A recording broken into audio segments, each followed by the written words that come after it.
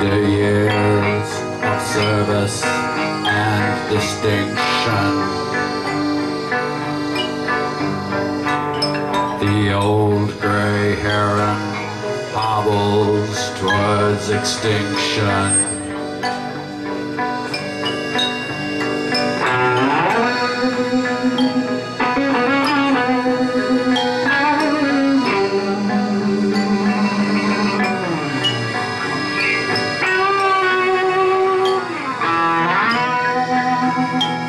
Thank you.